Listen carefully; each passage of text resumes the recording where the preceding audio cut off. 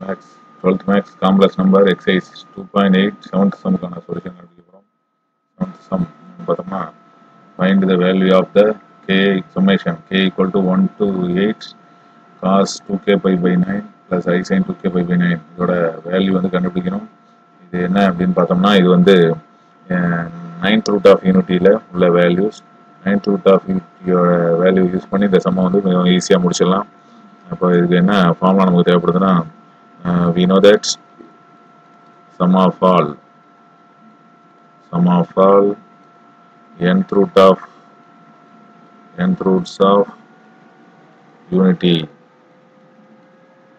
Sum of all nth roots of unity equal to 0 இதில் எண்ணுக்கு பதிலாக இப்போ என்ன போட போகிறோம் நைன் போட போகிறோம் ninth roots of unity equal to ஜீரோன்னு யூஸ் பண்ண போகிறோம் அப்போ நைன்த் ரூட்ஸ் ஆஃப் யூனிட்டி என்னன்னா one plus omega plus omega square plus omega cube plus etcetera up to omega power eight வரைக்கும் தான் வரும். நைன் வராது. உமையா பவர் நைன்னா ஒன்று இது omega power nine equal to one ஏன்னா இது நைன்த் ரூட்ஸ் ஆஃப் யூனிட்டி இது equal to zero here omega அப்படிங்கிறது என்னன்னா six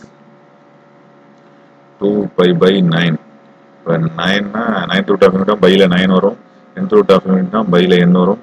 ஹியர் ஒமேகா பவர் கேவோட வேல்யூ என்னன்னா six two K K pi by nine கேவோட value ஒன்று போட்டோம்னா ஒமேகா கிடைக்கும்.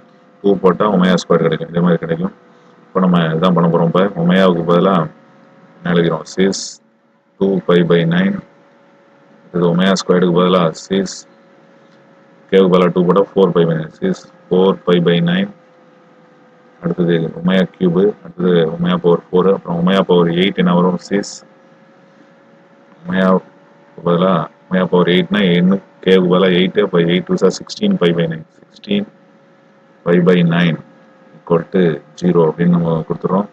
இப்போ ஒன் ப்ளஸ் இதை நம்ம ஜென்ரலைஸ் பண்ணுறோம் எல்லாம் ப்ளஸில் தான் இருக்குது அதாவது summation K equal to one to eight வரைக்கும் போடுறோம்.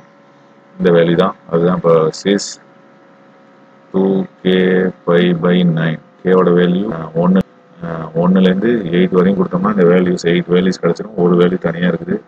இப்போ ஈக்குவல் டு ஜீரோ இந்த ப்ளஸ் ஒன் தனியாக இருக்குது இது அந்த பக்கம் அனுப்பிடுறோம். அப்போ k equal to 1 to 8 சிக்ஸ்க்கு பதிலாக நம்ம கொஸ்டினில் உள்ள ஃபார்மேட் என்னது அப்படின்னா cos two K five by nine plus I sine